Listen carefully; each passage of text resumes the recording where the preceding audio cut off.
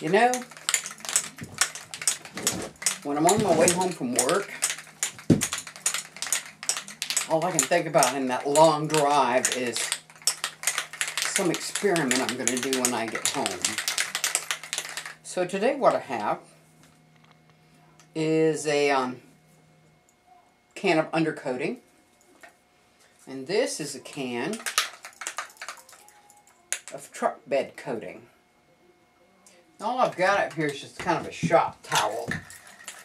But it's experiment time. I saw something the other day that fascinated me. And I want to try it. But I don't know which of these is really going to do best. This is truck bed coating. Ah, the wonderful smell of solvent. Gotta love it. Okay. That's pretty saturated. Now, we're going to try the rubberized paintable Rust-Oleum undercoating. This was actually on sale. Let's see what it does. Oh yeah, I think I'll like that better. And as I said, it was on sale. Now we wait. It will take this if I could read this tiny print, easy to use, black protective coating. Protects metal surfaces, Rust-Oleum.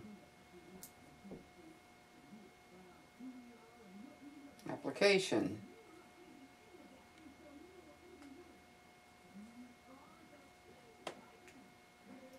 Allow the product to dry for one to two minutes between coats. Okay. Air dry a minimum of one hour. Alright. Let's see what this one says. This one says...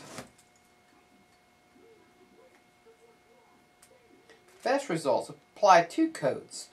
Allow product to dry for one to two minutes between coats. Okay. Minutes. My goodness.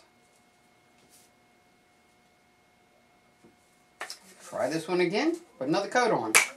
Why, you say, in the world is she painting a paper towel on the wall of the shop?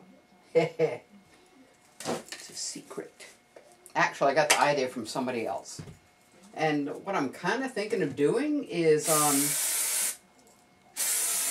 well, tell you when I find out whether or not this is going to work.